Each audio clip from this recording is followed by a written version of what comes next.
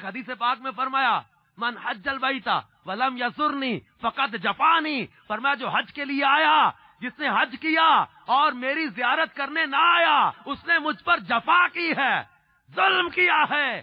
یعنی اللہ کے محبوب کے پاک در کی حاضری جو ہے، یہ قبولیت کی علامت ہے، یہ گناہوں کی بخشش کا ذریعہ ہے، یہ اللہ تبارک و تعالیٰ کے قرب کا ذریعہ ہے۔ سید اعلی حضرت نے انہی چیزوں کو سامنے رکھ کر نتیجہ خز کیا تھا۔ دور تک دیکھو، آسمان جھکا ہوا نظر آئے گا۔ یہ جھکا کیسے ہے؟ اعلی حضرت اس کے زبان میں کہتے ہیں، تصور و تخیل میں کہتے ہیں۔ یہ خم ہو گئی۔ پشت فلک اس تان زمین سے۔ سن، ہم پہ مدینہ ہے وہ رتبہ ہے ہمارا۔ کہ حضرت سید احمد کبیر رفائی رحمت اللہ تعالی علیہ بارگاہ رسالت میں سلام عرض کر کے یہ التجا کر رہے ہیں۔ اور این بیداری کے عالم میں لوگوں نے دیکھا کہ تربت اطہر سے ہاتھ باہر نکلا اور سید احمد کبیر رفائی نے ہاتھ کو بوسا دیا ہے۔ یہ وہ بارگاہ ہے جہاں کبھی ہم پڑھتے ہیں کہ سیدنا امام اعظم رضی اللہ تعالیٰ حاضر ہوتے ہیں اور اس کیفیت میں حاضر ہوتے ہیں۔ کہا جاتا ہے کہ تین دن کے بعد مدینہ المنورہ سے جانے لگے۔ کسی نے کہا حضور زیادہ نہیں ٹھہریں گے۔ کہ اس سے زیادہ میرا وضو قائم نہیں رہے گا۔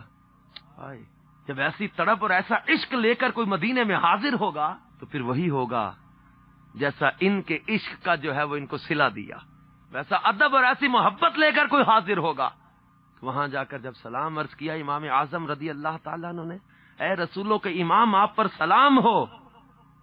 تو تربت اطہر کے اندر سے آواز آتی ہے وا علی کا سلام یا امام المسلمین۔ اے مسلمانوں کے امام، تجھ پر بھی سلام ہو۔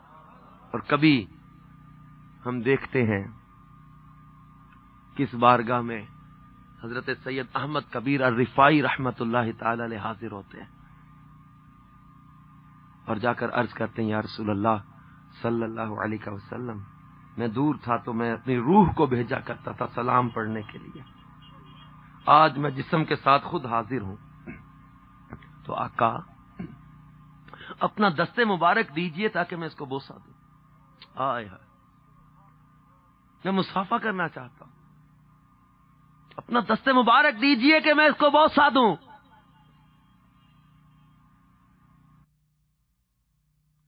ہزاروں زائرین مدینہ اس نظارے کو دیکھ رہے ہیں کہ حضرت سید احمد کبیر الرفائی رحمت اللہ تعالی علیہ بارگاہ رسالت میں سلام عرض کر کے یہ التجا کر رہے ہیں۔ اور این بیداری کے عالم میں لوگوں نے دیکھا کہ تربت اطہر سے ہاتھ باہر نکلا اور سید احمد کبیر رفائی نے ہاتھ کو بوسا دیا ہے۔ فریاد امتی جو کرے حال زار میں، ممکن نہیں کہ خیر البشر کو خبر نہ ہو۔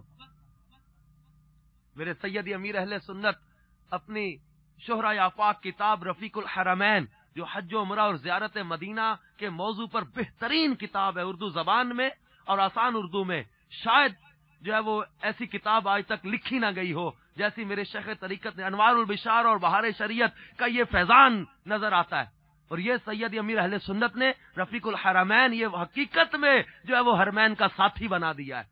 یہ کتاب اب اس میں ایک واقعہ لکھا یہ عشق اور محبت اجاگر کرنے کے لیے واقعات بیان کیے جاتے کہ بندے ہمیں بھی جانا ہے۔ ہمیں بھی حج و زیارت اور مدینے کے لیے جانا ہے۔ ہمیں کیسا انداز اختیار کرنا ہے؟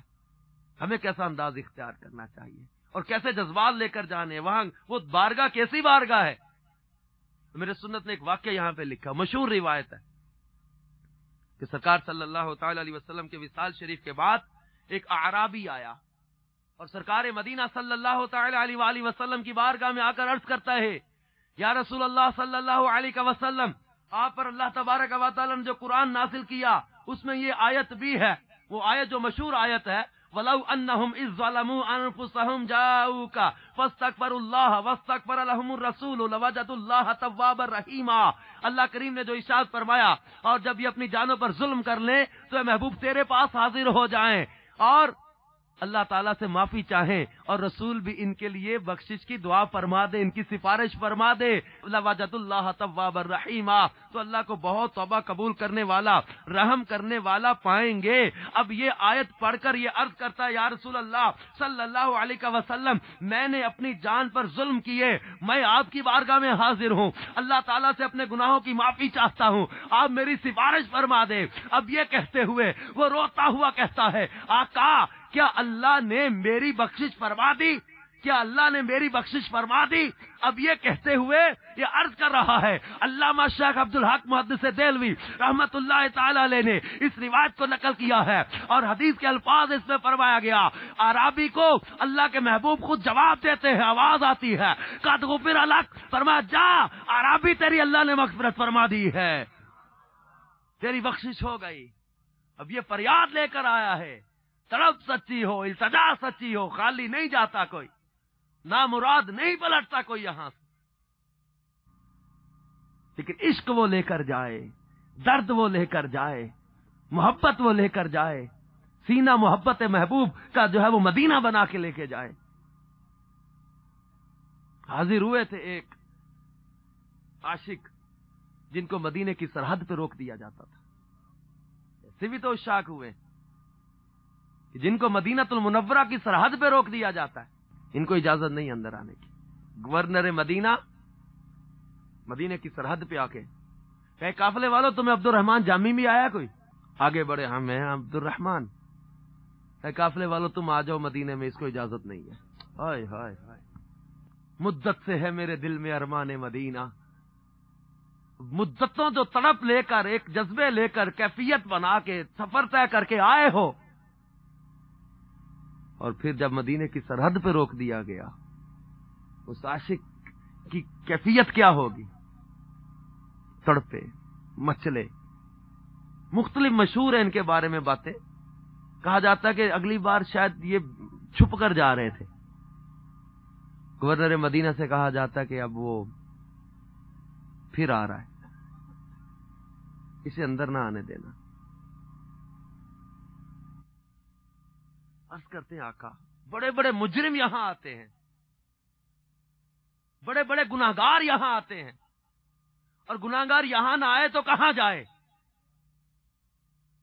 مجرم یہاں نہ آئے تو کہاں جائے؟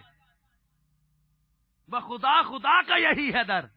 نہیں اور کوئی مفر مکر۔ جو وہاں سے ہو یہی آ کے ہو۔ جو یہاں نہیں، وہ وہاں نہیں۔ آقا اگر یہاں نہیں آئے گا، مجرم تو کہاں جائے گا؟ بڑے بڑے شرابی، زانی، بے نمازی ایبی چور، ڈاکو، بڑے بڑے مجرم آتے ہیں، توبہ کرتے ہیں، نیک بن کے جاتے ہیں، معافیاں مانگ کے جاتے ہیں یہاں کے التجائیں کرتے ہیں۔ آقا، یہ عبد الرحمان نے آخر ایسا کون سا جرم کر دیا کہ اسے آنے کی اجازت نہیں ہے؟ اس سے ایسا کون سا جرم ہو گیا؟ اس سے ایسا کون سا جو جرم کر بیٹھا یہ کہ اسے داخلے کی اجازت نہیں ہے؟ فرمایا عبد الرحمان نے کوئی ایسا جرم نہیں کیا کہ جو گناہ پر مشتمل ہو، کوئی عیب ہو، کوئی گناہ ہو۔ فرمایا گیا، جس کا مفہوم یہی ہے، فرمایا کہ یہ کوئی عیب یا پاپ یا گناہ کر کے نہیں آیا۔ بلکہ اپنے سینے میں وہ عشق لے کر آ رہا ہے۔ اس عشق و محبت کے ساتھ اگر یہ میری تربت پر آئے اور سلام کرے، تو اس کے عشق کا تقاضا یہ ہے کہ میں تربت سے نکل کر اس کے سلام کا جواب دوں۔ فرمایا کہ میں اگر نکلوں تو قیامت بپا ہو جائے، کلیجے پھٹ جائیں گے، دل پھٹ جائیں گے، نہیں تاب لا سکیں گے۔ ایک جھلک دیکھنے کی تاب نہیں عالم میں۔ وہ اگر جلوہ کرے، کون تماشائی ہو؟ پھر وہ ایک نعت لکھ کر یہ لائے تھے۔ بلکہ جب یہ روکا گیا تھا تو وہ سامنے ایک ٹیلے پر کھڑے ہو کر آواز دی تھی، سگت را کاش جامی نام بودے۔ یا رسول اللہ صلی اللہ علیہ وسلم، کاش آپ کے کتے کا نام جامی ہوتا۔ آپ اسے جامی کہہ کے بلاتے۔ آپ کی زبان پر اس اس طرح میرا نام تو آ جاتا۔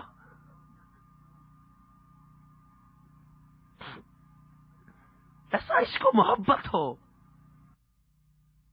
پھر شیخ طریقت امیر سنت اپنی ایک نعت میں ایک بڑے پیارا درس دیتے ہیں۔ آپ کا اصلاحی انداز ہوتا آپ جانتے اس نعت میں بھی آپ نے ایک بڑی فکر انگیز بات فرمائی۔ وہ نعت ہے، میں جو یوں مدینے جاتا۔ تو کچھ اور بات ہوتی۔ کبھی لوٹ کر نہ آتا تو کچھ اور بات ہوتی۔ اس میں نصیحت کرتے ہوئے کہتے ارے ظاہر مدینہ، تو خوشی سے ہنس رہا ہے۔ اے ظاہر مدینہ، تو خوشی سے ہنس رہا ہے۔ دل